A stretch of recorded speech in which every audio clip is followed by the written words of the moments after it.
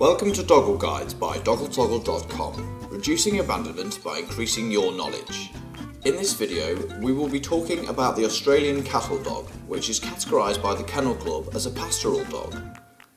The Australian cattle dog is considered a medium-sized dog, which typically grows between 43 and 51 centimetres in height and can weigh between 18 and 30 kilograms. Australian cattle dogs have several defining features, most notably their tall pointy ears, making them appear hyper alert at all times. Their coats are typically short and come in a couple of colours, for example blue mottled or red speckle.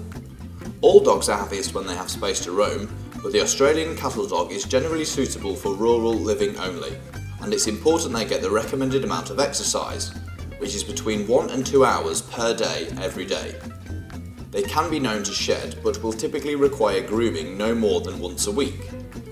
Appetite wise, Australian cattle dogs will consume between 900 and 1,500 calories of high quality dog food per day. This can vary and depend on their size, age, and metabolism. The Australian cattle dog is considered a very healthy breed, however, they can be susceptible to a couple of health issues, for example, deafness and eye problems. On average, Australian cattle dogs generally live between 12 and 15 years, but of course their lifespan will be subject to their health, lifestyle and well-being. Please consult a specialist for more information regarding nutrition or health advice and check out doggletoggle.com today to find a local expert or vet in your area. Whilst all dogs have their own personalities, the Australian cattle dog is loyal, protective and trustworthy. They are not known for their excessive barking, but like a lot of dogs, they will be noisy from time to time, so be sure this is something you can tolerate.